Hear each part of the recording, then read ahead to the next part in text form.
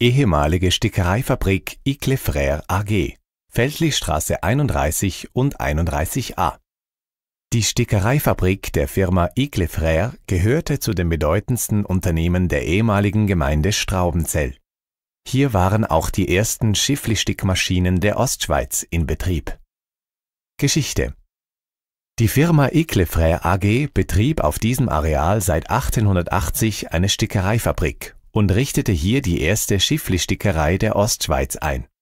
Diese Fabrik wurde 1901 durch den Bau Feldlichstraße 31 ergänzt und 1906 durch die Nummer 31a ersetzt.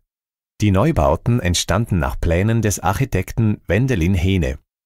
In der Krise der Stickereiindustrie schloss die Firma Icle ihre Fabrikationsanlagen im Gebäude Nummer 30 befanden sich ab den 1920er Jahren unter anderem eine mechanische Werkstätte und eine Autoreparaturwerkstätte. Auch an der Feldlichstraße 31a wirkten im Laufe der Zeit verschiedene Unternehmen. Seit 1930 etwa die Firma Vitrum, die Glaswaren für medizinische und chemische Zwecke produziert.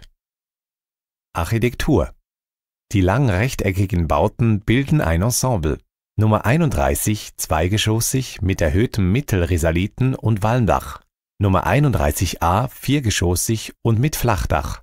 Beide Gebäude sind durch vertikale rote Sichtbacksteinliesenen gegliedert und, ihrer ursprünglichen Funktion entsprechend, mit großen Fenstern versehen. Für seine Zeit wirkt der Bau von 1906 überaus modern. Heutige Nutzung Die Gebäulichkeiten haben heute eine stark durchmischte Nutzung namentlich durch Architekturbüros, Ateliers in den Bereichen Design, Kommunikation und ähnliche